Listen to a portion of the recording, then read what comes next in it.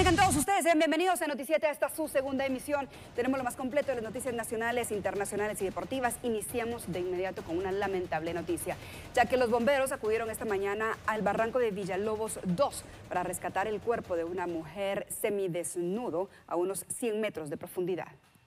Viene tres cuartos, viene. 15. Despacio, señores. Vamos a levantarlo. Despacio. 15 metros. En el sector de Villalobos 2, exactamente en el asentamiento 5 de enero, en donde una persona pues ha sido localizada al fondo de un barranco. En conjunto, el cuerpo de socorro, en ese caso cuerpo de bomberos municipales, en conjunto con oficiales de la Policía Nacional Civil y también vecinos de este sector, pues hablan de esta cuerda, colaborando y apoyando así a los eh, oficiales de bomberos que se encuentran al fondo de este barranco, ya pues extrayendo a una mujer de aproximadamente 20 años de edad que fue localizada por una persona que buscaba chatarra en esta hondonada.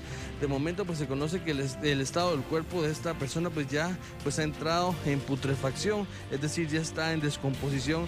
Cuerpos de socorro, en este caso cuerpo de bomberos, bomberos municipales ha trabajado arduamente en tratar de pues de primero localizar y luego rescatar de la forma más apropiada pues los restos humanos que se han encontrado acá en el sector se reportó una persona eh, posiblemente fallecida al fondo, al fondo de este barranco de aproximadamente 100 metros de profundidad.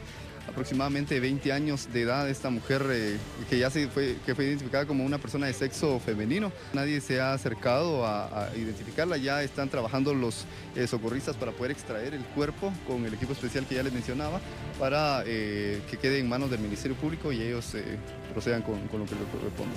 Es una hondonada bastante empinada, es decir, el trabajo acá se vuelve bastante difícil para los rescatistas. Sin embargo, pues es parte del trabajo que día con día realizan los bomberos.